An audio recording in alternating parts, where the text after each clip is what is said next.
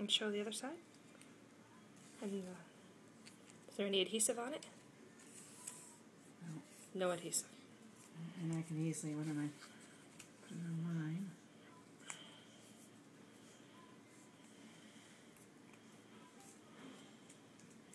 Now I get to play.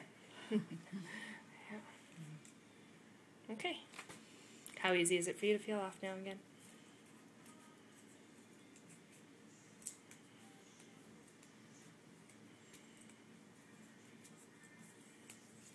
Now a third kid can play.